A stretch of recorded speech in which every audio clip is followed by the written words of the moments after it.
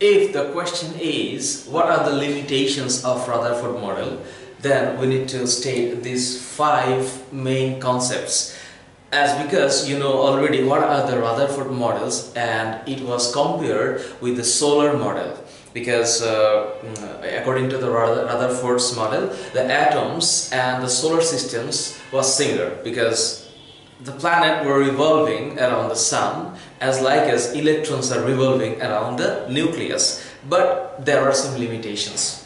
The first limitations of Rutherford's is number one I, I just wrote a very key points but the thing is uh, the concept is as Rutherford said it was looks like a solar model but looks like a solar system whereas the planets the planets of the solar system are neutral. That is the main part, the neutral, but the electrons of an atom, they are not neutral. They're actually negatively charged.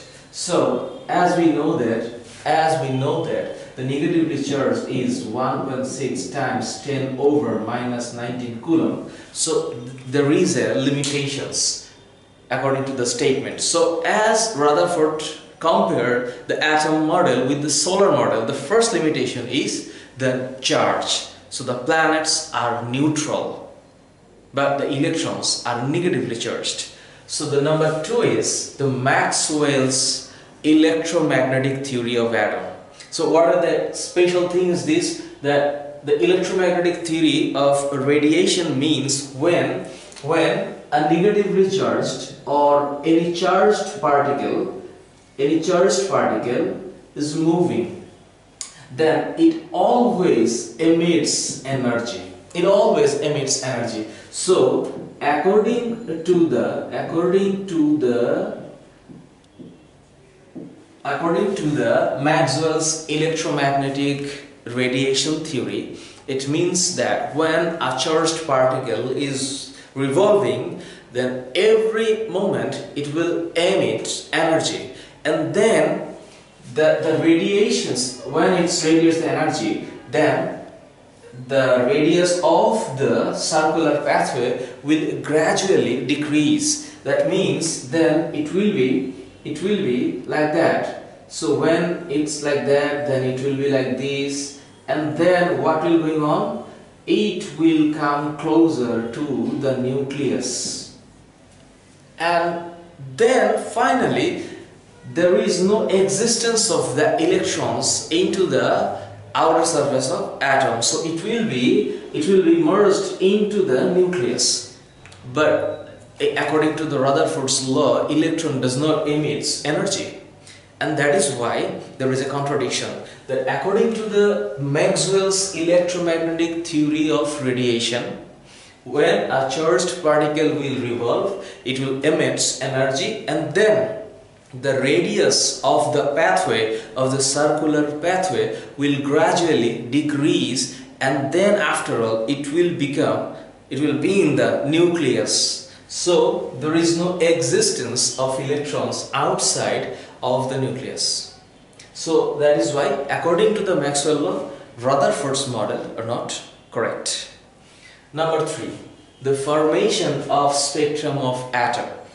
The spectrum of atom I mean, according to Rutherford's solar model, there was no correct idea of the formation of the spectrum of atom. As because we got this spectrum word from the Niels Bohr atom model and we'll have uh, the next video will be on the Niels Bohr atomic model. So the third limitations of Rutherford is that Rutherford atomic model did not state or didn't give any idea about the formations of spectrum of atom.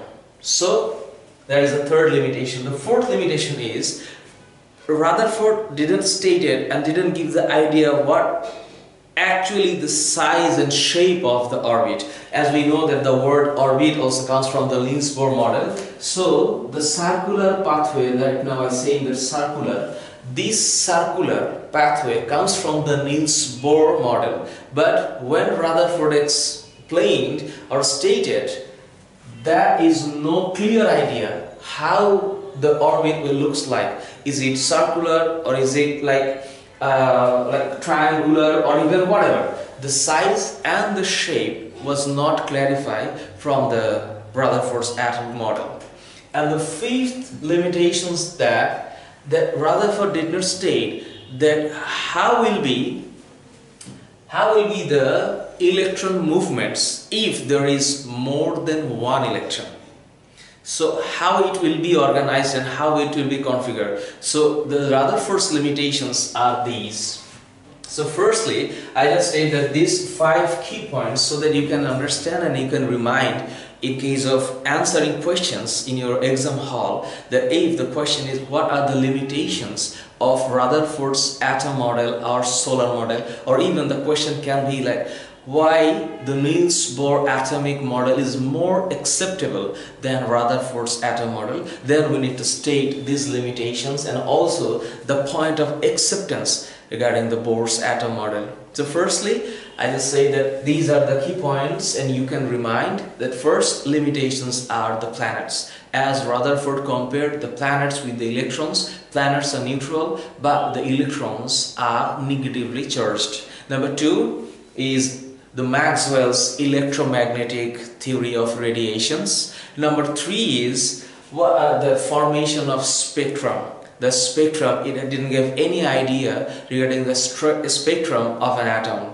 and then number four is Rutherford didn't give any idea regarding the size and shape of the orbital. And fifth limitations are that uh, there is no clarifications of uh, uh, conceptions of that. If there is more than one electrons then how it will be moving around the nucleus. So these are the limitations of Rutherford. So I hope that you understand and you can keep in mind that the five points and then in case of elaborating things in your paper then you just implement your thoughts into the exam paper. So see you on the next class. I shall be explaining the niels bohr atomic model. Take care